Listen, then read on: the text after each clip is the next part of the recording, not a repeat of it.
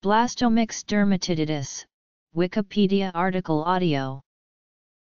Blastomyces dermatitidis is the causal agent of blastomycosis, an invasive and often serious fungal infection found occasionally in humans and other animals in regions where the fungus is endemic.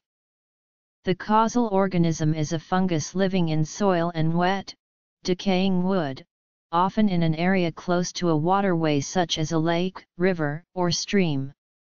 Indoor growth may also occur, for example, in accumulated debris in damp sheds or shacks. The fungus is endemic to parts of eastern North America, particularly boreal northern Ontario, southeastern Manitoba, Quebec south of the St. Lawrence River, parts of the U.S. Appalachian Mountains and interconnected eastern mountain chains, the west bank of Lake Michigan, the state of Wisconsin, and the entire Mississippi Valley including the valleys of some major tributaries such as the Ohio River. In addition, it occurs rarely in Africa both north and south of the Sahara Desert, as well as in the Arabian Peninsula and the Indian subcontinent. Though it has never been directly observed growing in nature, it is thought to grow there as a cottony white mold, similar to the growth seen in artificial culture at 25 degrees Celsius.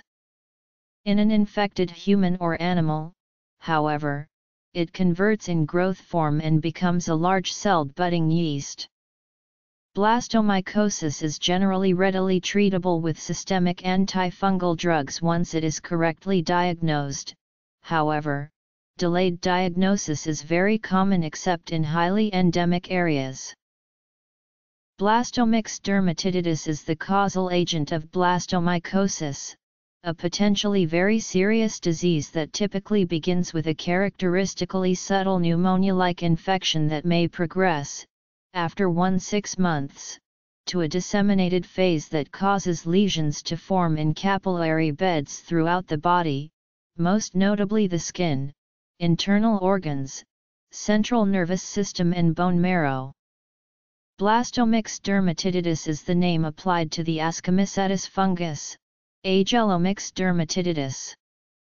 In 2013, a second species was described in the genus Blastomyces, B. gilchristii, which subsumes certain strains previously assigned to B. dermatitidis. Despite widespread use, the genus Blastomyces is currently invalid under the International Code of Botanical Nomenclature. Along with two other important human pathogenic fungi, Histoplasma capsulatum, Paracoccidioides brasiliensis, and Polytolypa hystricis, species of Blastomyces belong to a recently recognized fungal family, the Ajellomycetaceae. The three principal pathogens in this family are all grouped physiologically as dimorphic fungi, fungi that switch from a mold-like growth form in the natural habitat to a yeast-like growth form in the warm-blooded animal host. Blastomyces dermatitidis itself is a sexual organism, occurring in nature as both A and mating type and A mating type. This is epidemiologically important for two reasons. Firstly, it implies that the organism will be genetically variable, potentially leading to variations in disease severity, treatment response, and habitat preference. Secondly, it implies that a suitable, stable habitat must exist for the complex process of sexual reproduction to take place. This habitat is as yet unknown.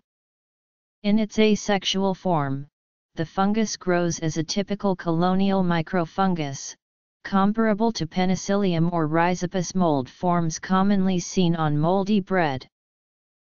Morphology and phylogeny Geographic distribution and variants In nature, the fungus forms a network of thread-like mycelium that penetrates the substratum on which it grows, and then after 3-5 days of growth begins to reproduce asexually with small conidia.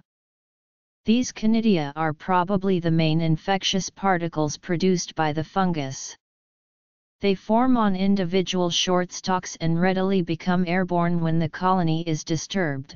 Their size places them well within the respirable size range for particles, meaning that they can deposit deeply in the lungs when inhaled.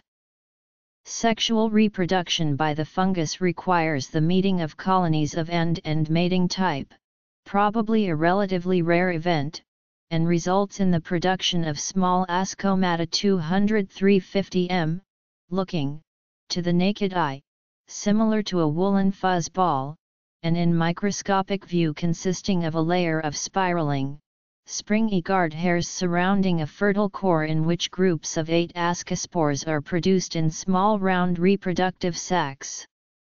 The ascospores, at 1.52.0 m, are among the smallest reproductive particles produced by fungi, and are within the respirable size range. The budding yeast cells seen in infected tissues and bodily fluids are generally relatively large and characteristically bud through a broad base or neck, making them highly recognizable to the pathologist. A small form is rarely seen with cells under 6 m. One of the unexplained regularities of nature is that there are several fungi of different phylogenetic ancestry that show a similar pattern of existence, dimorphism, virulent pathogenesis, pulmonary infectivity, and sharply delimited endemism. Blastomyces dermatitidis is one of these fungi, the others are Histoplasma capsulatum, Paracoccidioides brasiliensis, Coccidioides immitis, C. posadasii and Penicillium marneffei. The geographic range of B. dermatitidis is largely focused around the waterways of the St. Lawrence and Mississippi River systems of North America. There is a widely distributed and much republished, partially erroneous map that shows the U.S. portion of this range accurately, inclusive of occurrence in Minnesota, Wisconsin, Ohio, Kentucky, Arkansas, Tennessee, North and South Carolina, the Virginias, Mississippi, Louisiana, and a few regions of states adjacent to those named. The Canadian range of B. dermatitidis shows an abundance of blastomycosis in broad areas north and south of the St. Lawrence River in Quebec, as well as high endemicity along the north shore of Lake Erie and the low endemicity in southeastern corner of Manitoba.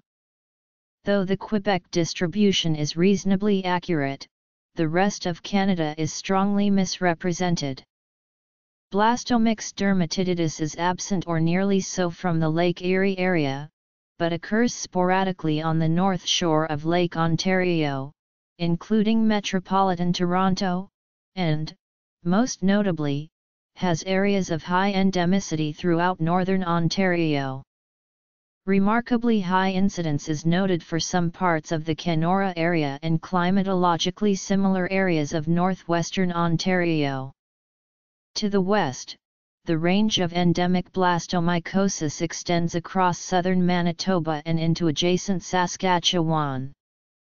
A few cases have been reported from north-central Alberta, e.g., the Edmonton area, though in these cases an atypical genetic group of the fungus may be involved.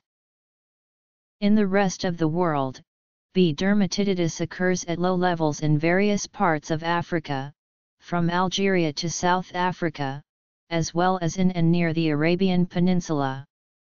The African isolates are divided into two biologically different antigen groups, Isolates from north of the Sahara are similar to North American isolates in having A and K antigens, while southern African isolates lack the A antigen. Isolates from the Middle East possess both antigens. The sub-Saharan African isolates differ in the laboratory from other isolates by being exceedingly difficult to convert to the yeast phase, and they also show some enzymatic distinctions. Blastomyces dermatitidis is one of the most ecologically mysterious organisms causing human and animal disease. Prediction of disease risk and prevention of disease are both made extraordinarily difficult by our very poor understanding of where and how this organism normally grows in nature. Despite decades of attempts at isolating organisms from epidemiological foci, B. dermatitidis has only been isolated from the environment 21 times. Most of these isolations have been based on the arduous isolation techniques involving the suspension of soil or other environmental materials in aqueous medium with antibacterial antibiotics, and injection of mice with these materials, followed by sacrifice of the animals when they appear ill or at the end of six weeks.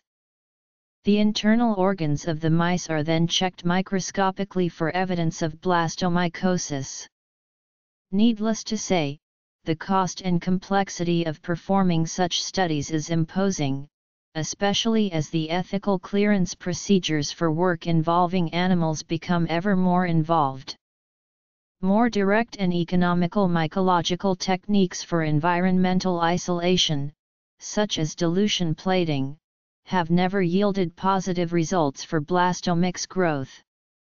Since B. dermatitidis will grow readily from clinical samples on common laboratory media, the lack of success in isolating it from environmental materials is generally ascribed to the inhibitory effects of CO-occurring common molds and antibiotic-resistant bacteria. Ecology In just one experiment, a single positive B. dermatitidis culture was gained via use of a novel enrichment broth technique. Recently, in an important breakthrough, a specific PCR technique was developed that was able to detect B. dermatitidis in three environmental samples from a dog kennel that had been experiencing problems with blastomycosis. What has been learned from direct isolation and recent PCR studies is that B. dermatitidis tends to be associated with soils and wood debris in areas characterized by an acidic pH, high organic content, abundant moisture, and proximity to waterways.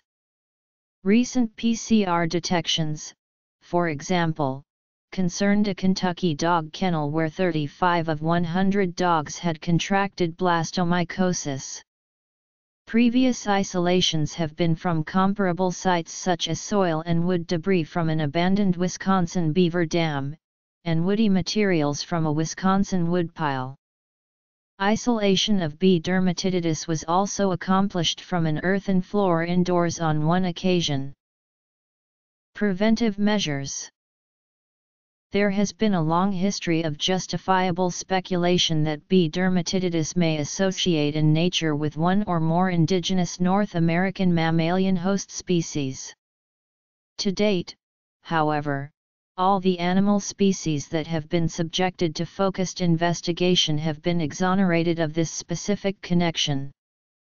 Unsubstantiated suspicion has particularly focused on the beaver, but the shrew, the bat, and the prairie dog have also been focal points of interest, with no conclusive interspecies association being demonstrated to date.